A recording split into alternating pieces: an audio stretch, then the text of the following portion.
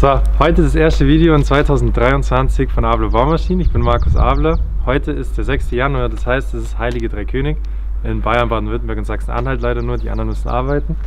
Und weil heute Heilige Drei König ist, haben wir die heilige Dreifaltigkeit des Asphaltbaus oder Gehwegbaus hier zu stehen.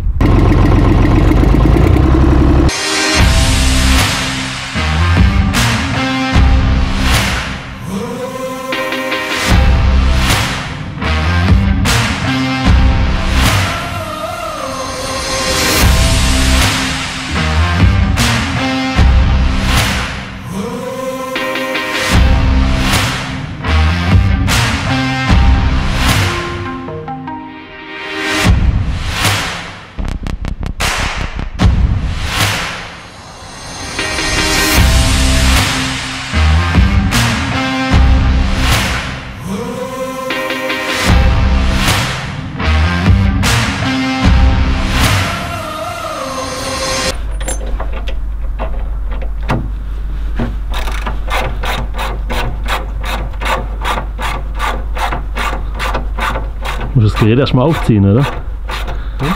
Erstmal aufziehen, das Gerät. Ja.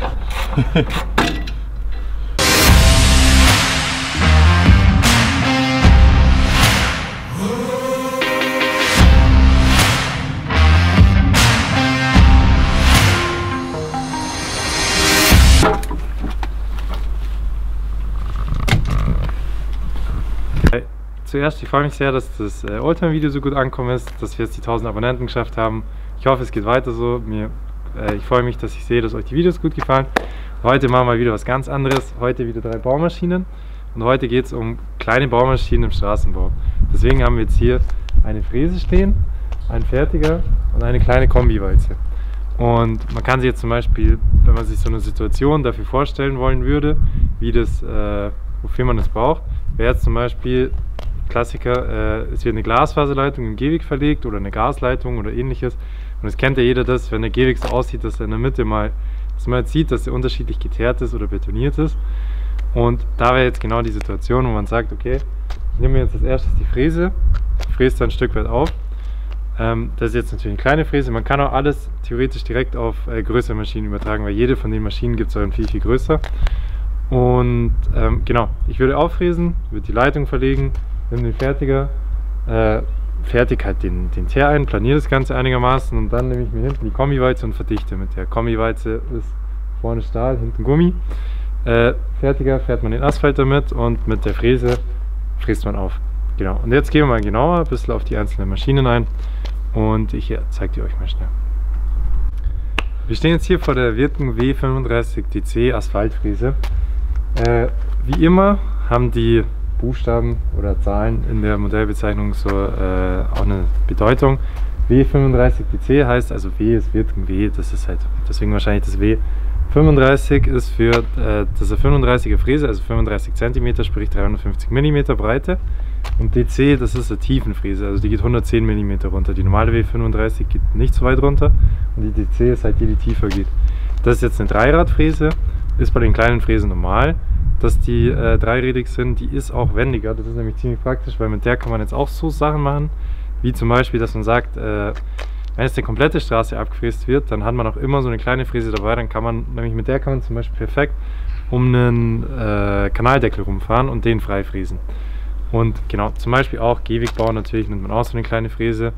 Wir haben hier hinten das Rad, das ist fest. Ich kann da hinten hoch und runter fahren. Und wir haben auf der anderen Seite, sehen wir dann gleich ein Rad, das wir einklappen können zum Transport. Das ist dann ein bisschen schmäler, aber in der Regel ist es draußen. Äh, die Fräse ist Baujahr 2006, hat ca. 4000 Stunden. Stundenzähler schon mal gewechselt, falls wir den später sehen. Äh, sie hat 4500 äh, Kilo, hat eine Rußpartikelfilteranlage. Ist hier dieses Teil. Und das braucht man für, wenn man jetzt sowas zum Beispiel einsetzt im Tunnelbau oder in der Schweiz zum Beispiel ist es Pflicht, haben alle Baumaschinen eine Rußpartikelfilteranlage. Und genau, also Tunnelbau kann man das benutzen und jetzt können wir mal hier hinter gehen. Äh, lenken tut sie vorne mit dem einen Rad. Wie wir jetzt sehen, da kann man den, das komplette Teil hydraulisch runterlassen. Wir können bis hier runterfahren, dann ist man ganz unten, dass man natürlich auch in die Tiefe fräsen kann. Wir sind jetzt ganz oben, weil ich die hier gerade hergefahren habe und man fährt in der Regel in einer höheren Stufe. So, dann haben wir hier das äh, Förderband. Das ist auch sehr praktisch und auch wichtig, dass wenn man fräst, das Material muss ja auch irgendwo hin, sonst wird es ja einfach liegen bleiben. Und deswegen hier hinten das Förderband. Das ist klappbar. Nee, das ist nicht klappbar. das ist nicht klappbar. Es gibt klappbare Förderbänder bei den Fräsen. Man kann es hoch und runter stellen, ein bisschen seitlich verstellen.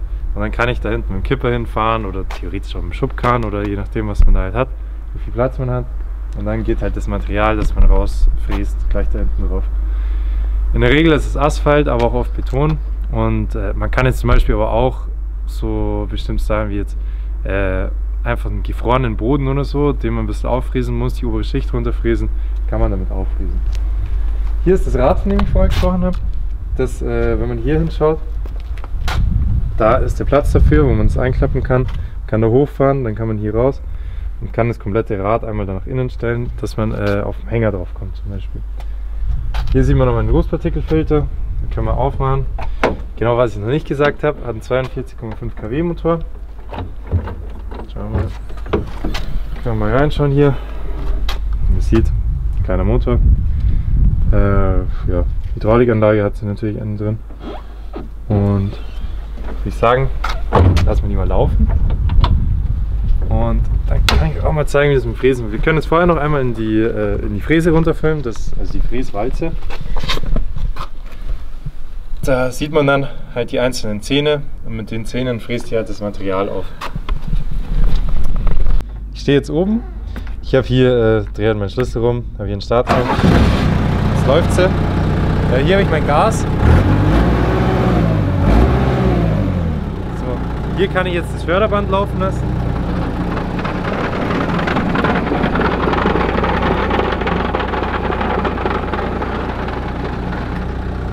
Und jetzt kommt, äh, was man auch noch sehen kann jetzt, ich fahre jetzt mal runter.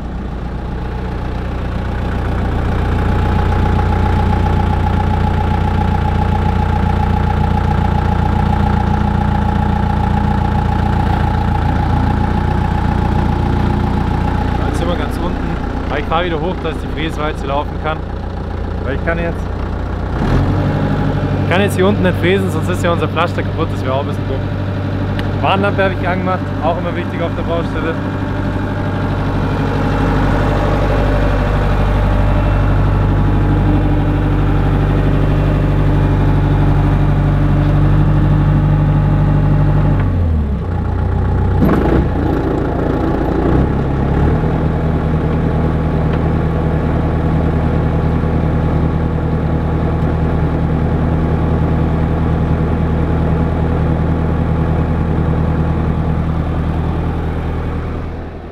Sehen wir hier, die, äh, haben wir gerade die Fräse laufen sehen. Das funktioniert einfach so, im Endeffekt mit den Zähnen fräst die Fräse das Material ab. Das Material geht hinten aufs Förderband und wird rausgefördert. Und dann haben wir da so einen schönen Graben und das, äh, das harte Material, das wir jetzt nicht einfach auspacken können, haben wir damit weggefördert. Das ist so der erste Schritt bei so einer Baustelle, wie wir uns jetzt gerade vorstellen. Und jetzt gehen wir dann weiter zum Fertiger. Wir stehen jetzt am Fertiger. Das ist ein Vögele Superboy 6-90 Fertiger aus Baujahr 97 mit 3500 Stunden. Weil wir gerade nochmal drüber gesprochen haben, das mit den Stunden ist immer, äh, da sind jetzt zum Beispiel beim Auto ist ja der Kilometerstand interessant. Man weiß jetzt beim Auto zum Beispiel, okay, 100.000 Kilometer ist so ein Schritt, 200.000 Kilometer gehen dann die meisten schon Export und 300.000 bis 500.000, das laufen ja die Autos heutzutage meistens gar nicht mehr. Und so wenn man jetzt da spricht, bei, bei der jetzt ja 4.000 Stunden, hier sind wir bei 3.500 Stunden, das ist so eine normale, sage ich jetzt mal Laufleistung, wo die Maschinen bei uns hergeben werden, also so kleine Maschinen. Sprich. Das ist zum Beispiel da hinten der Hyundai-Bagger, das ist sowas, der läuft halt einfach. Das sind große Kettenbagger mit 30 Tonnen oder 35 Tonnen, die laufen aber 15.000, 20.000, 25.000 Stunden in Deutschland. Aber die kleinen Maschinen, die werden halt auch eher dann gezielter genutzt. Das heißt, äh, zum Beispiel die Fräse, die wird, jetzt dann, die wird auf die Baustelle gestellt und wird dann kurz für eine Stunde benutzt und dann wird es wieder weitergefahren auf die nächste Baustelle. Weil man damit einfach nicht so groß arbeitet. Und mit so einem, so einem Bagger, der zum Beispiel in der Grube läuft, der läuft am Tag einfach 10 Stunden, arbeitet davon wahrscheinlich 7 Stunden oder 8, 9 Stunden, je, also je nach dem Fahrer, wie viel er den laufen lässt oder wie viel nicht. Aber äh, genau, die Maschinen laufen halt, bei denen ist eine geringere Laufleistung, also geringere Stundenleistung eher normal. Weil das halt alles aufzeichnet und der Kilometerstand wäre bei sowas halt komplett irrelevant, weil das ist ja nicht dafür da, um weit zu fahren. Äh, genau, wir haben den 6 durch 90 Vögele Super Bowl. Baujahr 97, 3500 Stunden. Wir haben äh, ein Kettenlaufwerk, es gibt auch Radfertiger. Wenn wir mal einen da haben, zeige ich euch dann natürlich auch ein Video davon. Aber das ist in Deutschland eher unbeliebt. Das ist eher so, dass die in Frankreich, Belgien und sowas fahren. Denn die Ketten äh, kommen dann halt einfach auf einer Baustelle besser weg. Laufwerk ist schön. Äh, wir haben eine Nivellierautomatik, wir haben eine Einbaubreite von 2,10 Meter. Das bedeutet, wir können jetzt, also so wie jetzt da steht, weiß ich nicht, wahrscheinlich 1,30 Meter, 1,50 Meter. Wir können hydraulisch verbreitern auf 2,10 Meter. Und wir haben hier vorne noch die äh, Anbauverbreiterungen drin liegen. Das ist dann die Mecha äh, ja, genau, das ist die, also das ist die hydraulische Verbreiterung, das ist die mechanische Verbreiterung. Heißt, wir müssten die anbauen, wir müssten die hinschrauben. Das sind nochmal diese Schnecken, die den Asphalt nach außen fördern und hier sind nochmal die Verbreiterungen, wo mit den Blechen, wo quasi den Teer planieren wird. Wir äh, können nochmal rumgehen. Wir haben einen Deutz-Motor. Ähm, KW weiß ich jetzt gerade gar nicht. Das hier hinten ist die Bohle. Die kann man eben verbreitern. Der Teer wird von da vorne durchgefördert, einmal durch die Maschine, kommt hier hinten hin, wird über die Schnecken nach außen gefördert und wird dann mit der Bohle so schön sauber gerade planiert. Äh, wir können uns hier die Steuerung anschauen. Fahren würde ich jetzt in dem Fall, hier ist der Fahrhebel, hier ist vorwärts, da ist zwei, aber da muss ich noch hier zusätzlich drauf drücken, dass ich rückwärts fahre. Hier kann ich lenken. Da drüben kann ich äh, die Bunker steuern. Das sind vorne die Teile, die aufmachen. Und hier kann ich die Bohle hoch und runter fahren. Wir haben gesagt, wir lassen ihn nicht laufen, weil ich nicht will, dass das Video zu lange wird. Und wir haben noch ein anderes Video von dem D-Mark DF 115C Asphaltfertiger. Das ist eine größere Maschine. Da haben wir euch schon alles gezeigt und das wäre vielleicht ein bisschen interessanter, wenn ihr euch das anschaut. Deswegen machen wir jetzt hier eher einen Schnelldurchgang an der Maschine. Können wir nochmal hier vorkommen. Das, wie gerade gesagt, sind die Bunker nochmal. Die kann ich eben hier so komplett aufmachen einmal. Und dann kann ich da vorne mit meinem Kipper hinfahren. Hier fährt man wahrscheinlich dann eher mit so einem 7,5 Tonnen Kipper oder mit dem Kipper mit einem Thermofass drauf hin. Weil der Thermos muss ja auch immer warm bleiben. Das ist auch immer wichtig zu sagen. Weil sobald er kalt wird, ist er nicht mehr äh, zu verarbeiten. Deswegen hat man da meistens dann entweder ein Thermofass drauf, kann ich euch auch mal zeigen in einem anderen Video, oder äh, so gibt es auch spezielle Kipper einfach dafür. Die haben dann hinten diese kleine Schüttung und können halt gezielt da reinfördern. Das war es dann eigentlich zum Fertiger. Dann können wir schon weitergehen zur Walze. Du bist fertig? Ich bin fertig. Aber das ist ein Fertiger. Das ist ein Fertiger. wir stehen jetzt vor der Walze. Das ist eine Hamm HD10K. K steht für Kombi. Und Kombi bedeutet, wir haben vorne Stahl und hinten Gummi. Das äh, gehe ich gleich nochmal genau, genauer drauf ein. Erst einmal die Daten von unserer Maschine jetzt. Also alle drei Maschinen, die ihr hier seht, sind noch zum Verkauf. Die ist Baujahr 2007, hat ca. 2500 Kilo und äh, und 3900 Stunden, genau. Äh, wir haben hier Stahlgummi, ist eine klassische Straßenbauwalze, weil wir können vorne verdichten und haben halt vorne das, äh, das viele Gewicht, verdichten gescheit und hinten fahren wir hinterher mit den Gummirädern, die werden eben schön warm und damit kann man halt beim Teer das beste Ergebnis erzielen, weil die Gummirad, also es gibt auch große reine Gummiradwalzen, aber hier hat man halt den Vorteil, dass man es kombiniert. So. Und die Hinterreifen werden schön warm, man kann über den Reifendruck regulieren, wie man da die Bahnen einstellt und das macht dann halt so das, das Finish und das Endergebnis, das richtig schön wird. Wir können einmal rumschauen. Das ist eine relativ kleine Walze. Was sehr selten ist, die Walze hat eine Kabine, ist natürlich für den Fahrer sehr schön. Die meisten Walzen, die so klein sind, haben aber eher äh, keine Kabine. Wir haben noch zusätzliches Gewicht, was eigentlich meistens sogar gut ist bei einer Walze, wenn man will, dass sie viel Gewicht hat, dass sie auch gescheit verdichten kann. Sitz, normale Steuerung, man fährt über den Hebel, vor und zurück. Hier unten haben wir das Gas, Handbremse, Vibration kann man noch machen, zeige ich euch gleich beim Fahren. Hier hinten sieht man noch mal schön die Gummiräder. Die sind eben sehr nah zusammen und bringen das schöne Ergebnis. Man hat hier Wasserdüsen, die spritzen Wasser hin, dann kann man eben, äh, falls die Reifen zu heiß werden sollten, weil der Asphalt noch so heiß ist, kann man die damit kühlen, kann die Temperatur ein bisschen regulieren. Äh, was sieht man sonst noch? Hier ist noch, äh, noch ein Kantenschneiderad eigentlich hin, das ist nicht montiert.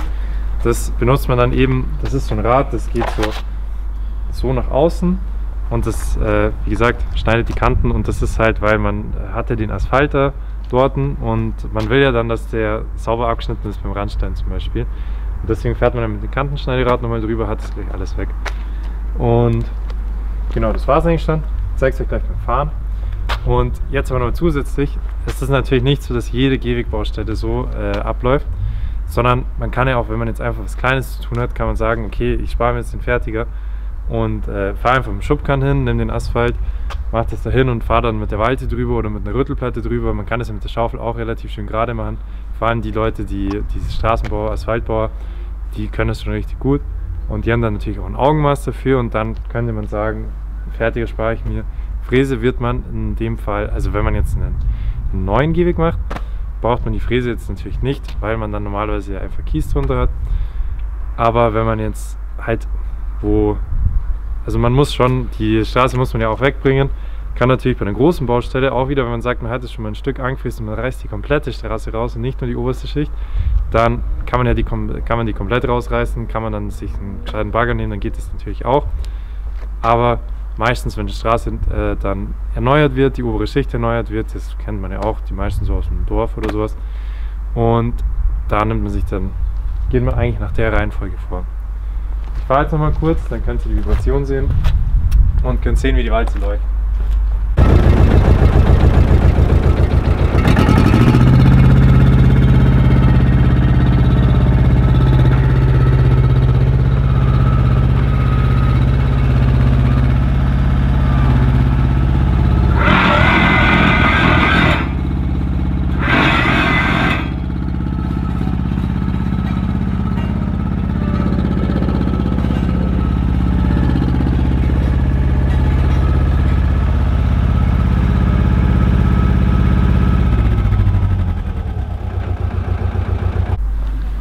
So, wir stehen jetzt hier wieder davor vor unseren Maschinen. Ich hoffe, ich konnte euch da jetzt einen schönen Einblick geben, wie so eine Straßenbau-Baustelle natürlich verläuft.